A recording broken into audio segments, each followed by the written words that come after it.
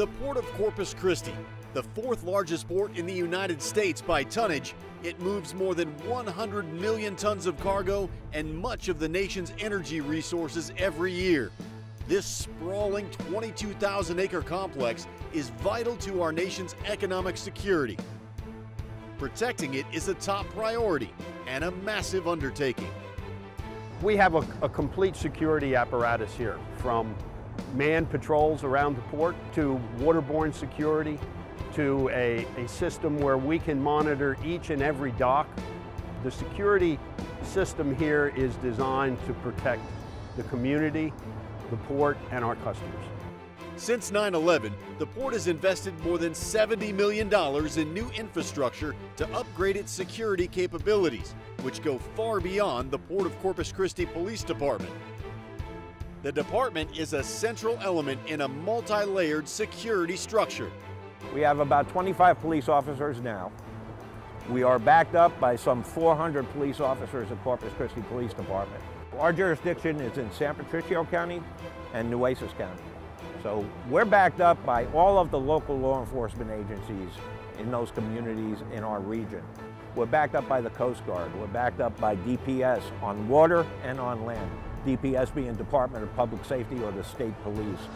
And all of the bureaus that encompass the state police, to include the Texas Rangers.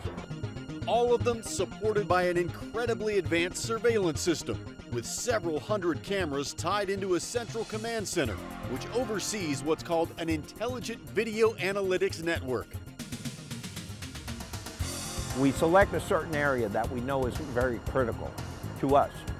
We can't have a policeman there 24 7, but we can have eyes on that spot 24 7 somebody, whether it's a person, a vehicle, a bicycle, a bird, whatever it is, we want to know when that one type of body goes into that alert region.